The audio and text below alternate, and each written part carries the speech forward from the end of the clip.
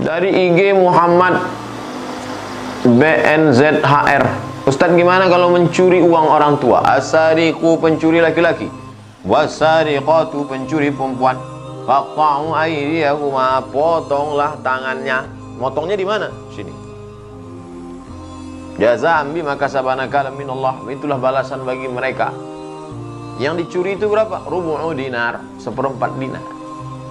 Satu dinar 4,25 gram. Berapa itu? 2 juta. Berapa batas minimal curi? Rubuk dinar, 500 ribu. Menjaga. Islam datang menjaga harta, menjaga nyawa, menjaga kehormatan, menjaga harga diri, menjaga akal, menjaga agama.